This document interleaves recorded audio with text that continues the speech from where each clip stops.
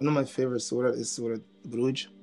Um, reason why that is is Allah is talking about uh, how kind He is, where He says, وَهُوَ الْغَفُورُ الْوَدُودُ ذُو الْعَرْشِ الْمَجِيدُ فَعَالٌ لِمَا يُرِيدُ And that's just saying that Allah is the most loving and the most kind.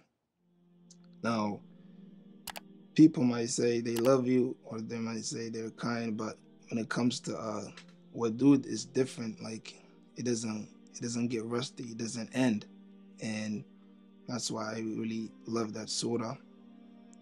And I recite it almost all the time. And when I recite, it gives me hope, and that's what keeps me going.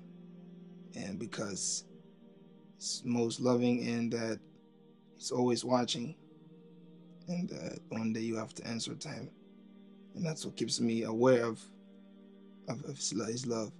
You know, you know how you have that one friend that's always checking on you to make sure that you're not doing anything bad.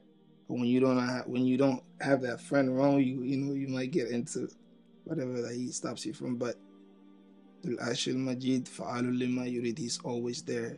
Like you know, he's always watching.